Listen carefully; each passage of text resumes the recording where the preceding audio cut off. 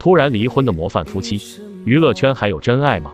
第一对黄晓明、杨颖，官宣离婚前，黄晓明一直是宠妻狂魔，当年对杨颖一见钟情，还给了她顶级奢华的世纪婚礼。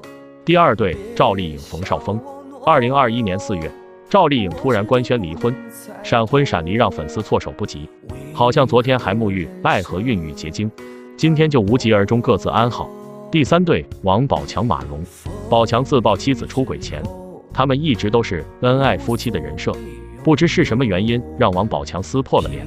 第四对董子健、孙怡，二零二二年八月八日，董子健、孙怡离婚，又一对金童玉女宣布分手，粉丝大为震惊，纷纷追问为什么。第五对杨幂、刘恺威，杨幂在事业巅峰时嫁人生子，对刘恺威绝对是真爱了。但这份爱仅仅维持了四年多，杨幂连孩子都没要就离婚了。第六对大 S 汪小菲，结婚后汪小菲一直把大 S 捧在手心，为了她常年在两岸之间奔波。谁知二零二一年突然传来离婚的消息，不少人还以为是炒作。第七对李湘王岳伦，二零二一年十一月，王岳伦突然单方面官宣，已经和李湘分手大半年了，让粉丝有点找不到节奏。明明整天在一起秀恩爱。没想到早就离了。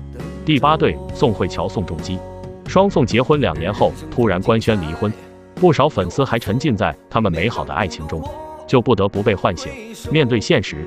第九对陈赫、许静，两人相恋一三年，却在结婚后一年就分道扬镳，让很多人无法理解。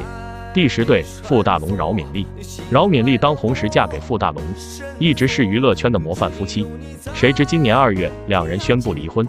难道真是因为傅大龙没钱吗？你觉得哪一对离异夫妻最让人可惜？